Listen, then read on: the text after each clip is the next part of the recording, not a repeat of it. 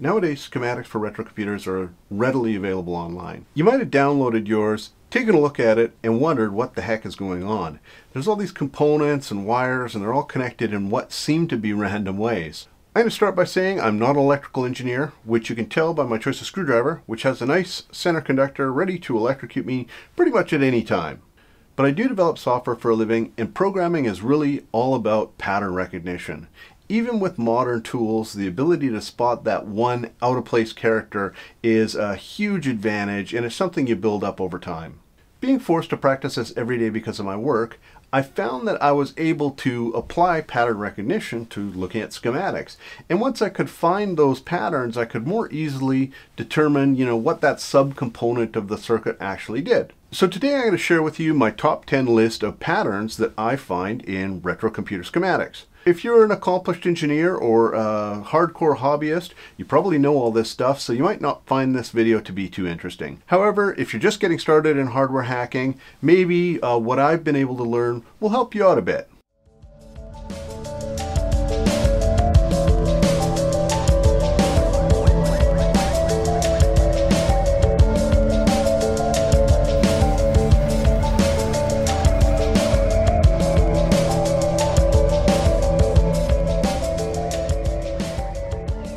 Let's start with the simplest one, the bypass capacitor. I've intentionally kept this topic at a high level because there's a lot of other videos that explain this in great detail on YouTube already. Now the bypass capacitor is seen all over the place in retro computers. Basically next door to any chip on the board, you're going to find one of these capacitors. There's a big change in current flow when a digital device turns off and on. The current drain of the device itself increases greatly and all of the dependent devices connected to that, they also increase in current. The bypass capacitor serves as a short-term energy store to provide power to these rapidly changing loads.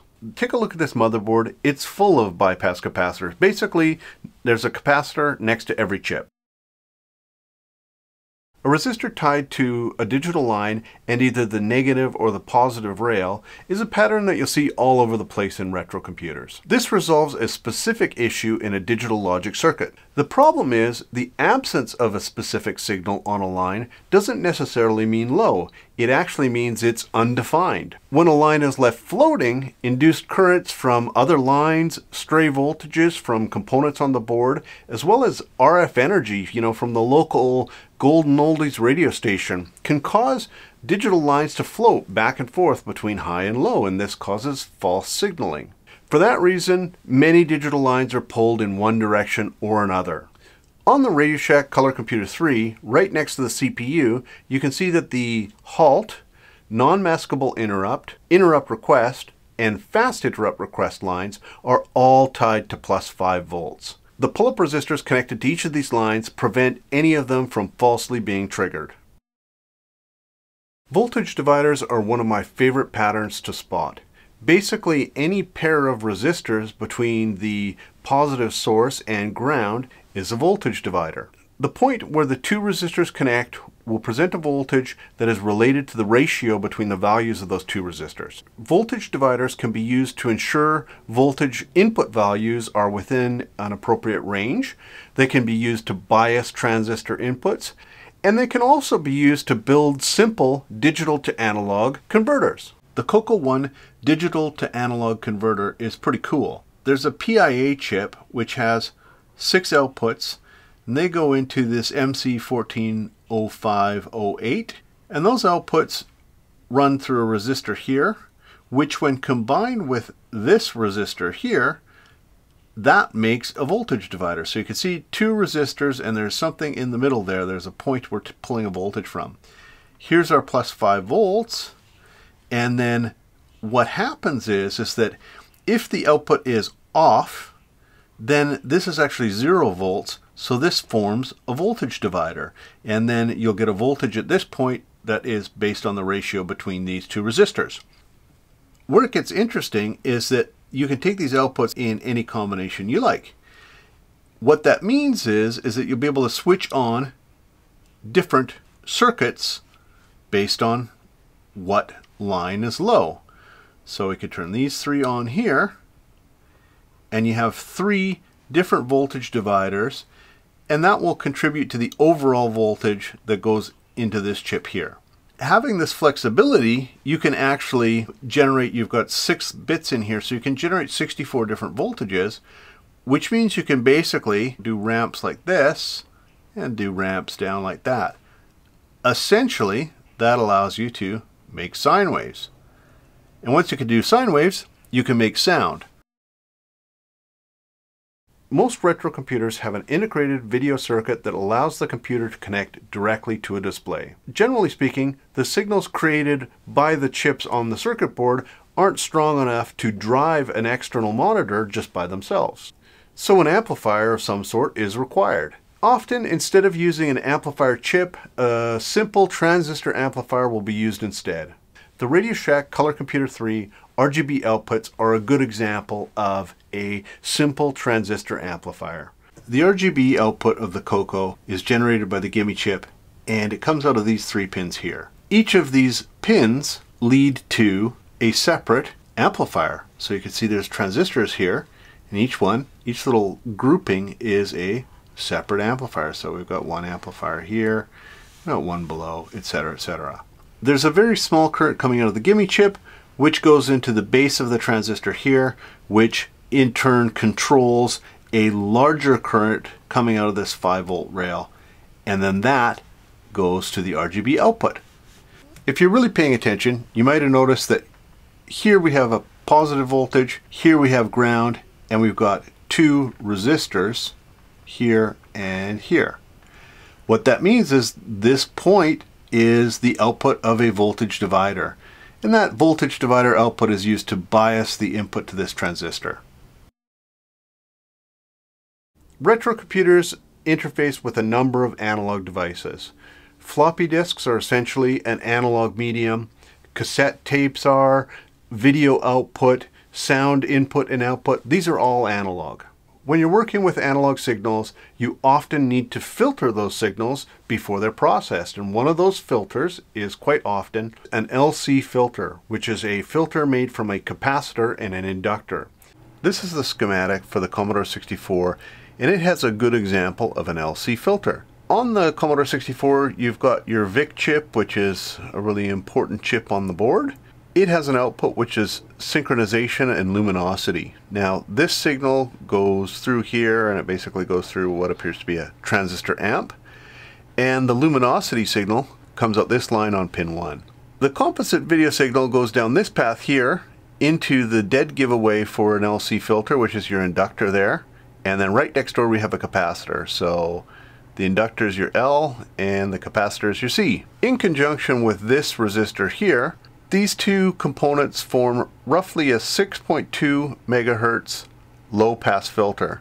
And that signal that has been filtered goes into the composite video input. If we look at the signal starting at 0 hertz and say this is 5 megahertz and this is 10 megahertz, what's going to happen is that all of the signal here is going to be allowed in and then it's going to start to drop at 6 and then go down to pretty much nothing at these high frequencies.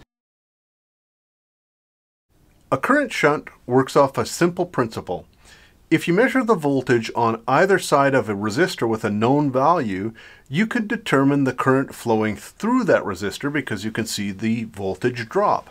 If you use a small enough resistor, the voltage drop won't be enough to impact the operation of the circuit, but you'll still be able to see a voltage drop and thereby calculate the current flowing through that resistor. To make things even easier, you can use a 1 ohm resistor and that will allow you to eliminate one of the variables in Ohm's law so that the current drawn in amps is equal to the voltage drop across the resistor. Makes it really simple. You might go through a complicated process of measuring the voltage drop and then performing some action based upon it. Or you could do something simple like in this mini disk drive where the voltage drop is used as feedback into a transistor switching circuit that controls the motor speed and this is actually used to prevent the motor from overloading if something's jammed in the uh, drive itself. There are times when you need to invert the value of a digital line, and instead of using a chip for this, you can just use a simple transistor. Depending on what connection on the transistor is used as the signal line, the transistor can be thought of as either a inverting or non-inverting switch. The Commodore 64 has a great example of a transistor NOT gate. The cassette motor output here is actually inverted, so if you have a digital 1 here, you will get a 0 output on the cassette motor plug.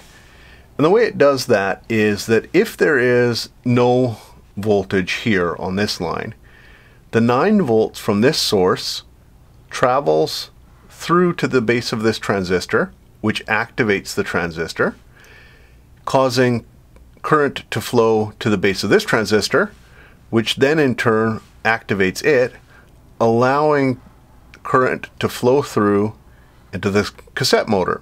So essentially you get a positive voltage on that side. When there is a high state on this cassette motor output, what happens is current flows through this line into the base of this transistor, activating it.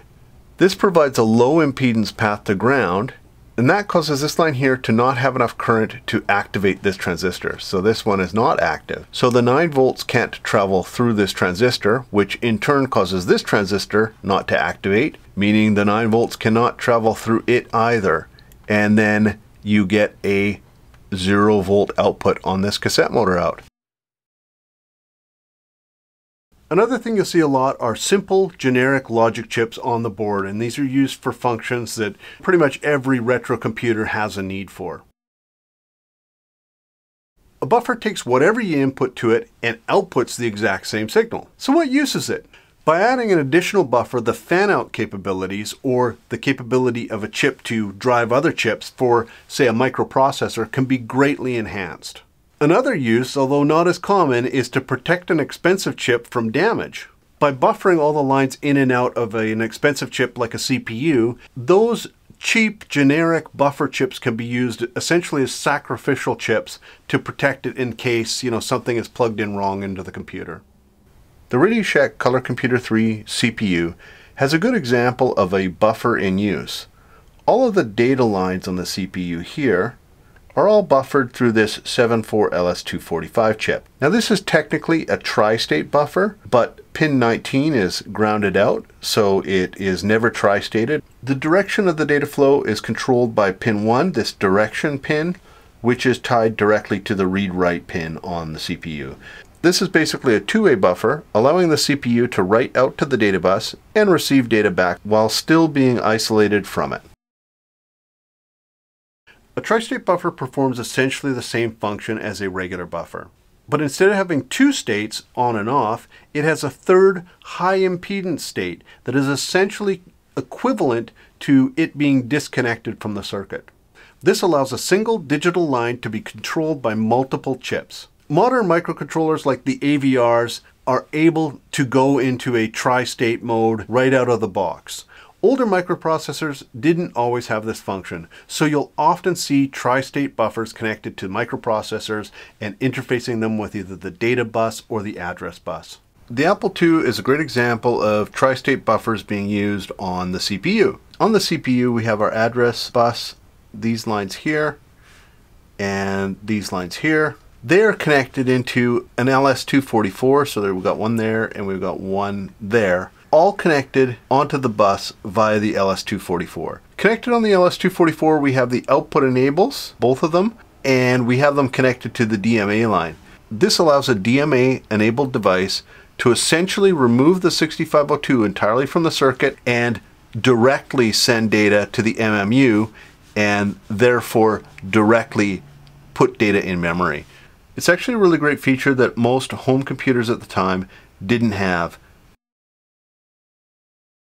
a typical latch in a retro computer works as a single byte storage device. A latch is often used when interfacing subsystems where an intermediate state needs to be maintained by one system while the partner system needs to move on to additional work. The Color Computer 2 video display generator uses an LS273 latch because it shares the clock cycle with the CPU. The VDG, well actually the SAM, puts the location of the next character block in the latch so that the CPU can move on and change the address on the address bus, but the video display generator still has the location uh, where it was last looking for data. Well, there you have my top 10 list of patterns in retro computer circuits. If you have a pattern that I should have mentioned or that you see all the time, please put it in the comments below. It'd be great to hear what other people see when they're working on their computers. If you like this video and you like this kind of content, please consider subscribing. I need all the subs I can get right now, and I really appreciate every one of my subscribers. Thanks for watching, and I hope you have fun with your retro computers and other old technology.